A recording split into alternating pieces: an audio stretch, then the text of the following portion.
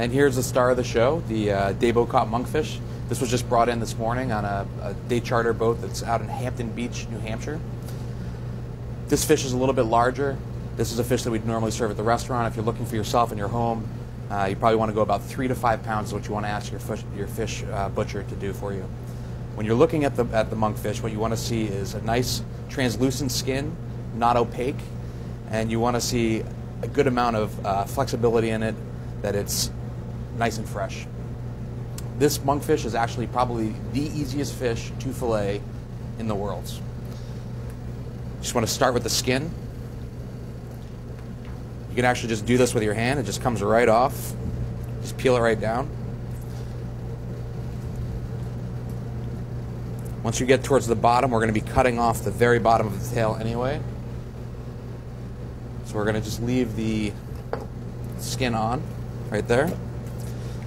Has cartilage, so you just want to cut right in between it.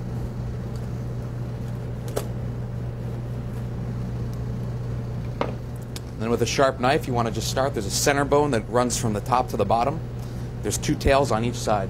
So you just want to start from one side, work your way right down the bone. And this is really a great way to have the absolute freshest quality of fish that you could possibly have.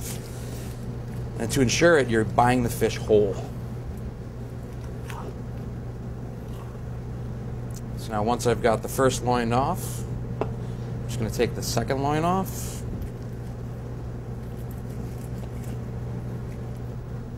Just by using your fingers as a guide, it's a, a nice way to make an even line right across the tail.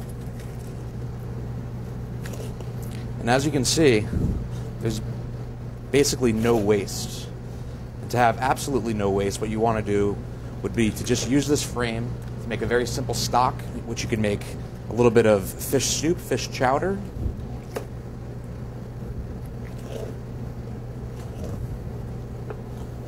And there you have it.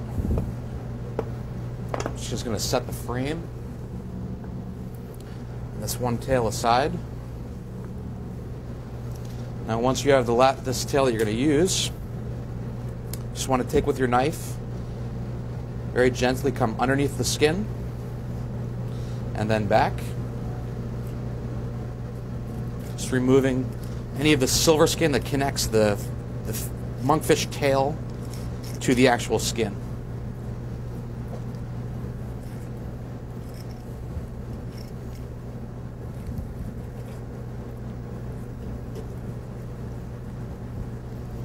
So you've removed that. You want to start from the head of the monkfish. Just slice right down. You're going to make medallions.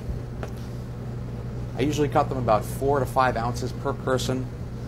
I think that that's plenty. If you have people that are larger eaters, you can cut them to a larger portion size. This was a 10 pound fish, and I could easily get six out of this. And if you see a fish that's a little bit larger, that's not in the three to five pound range, you just ask your fishmonger. I'm sure he would be happy to break the, the monkfish down or whatever fish that you'd like into whatever size would be manageable for you. And I think that's really the best way to purchase your fish is make sure it has a head on it, make sure that you can look into its eyes and they're clear and not cloudy, and the meat has a nice uh, white, uh, white appearance. Thank you.